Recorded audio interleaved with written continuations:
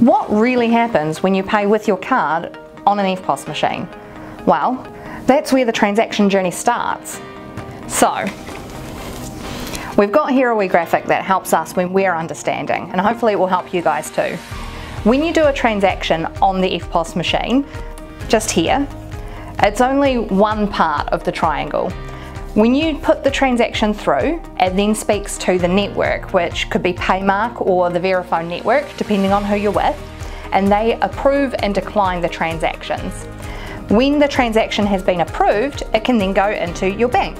So you see it starts with the EFTPOS machine, and then it goes through the network, and then it goes to your merchant bank. And that is the journey of a transaction.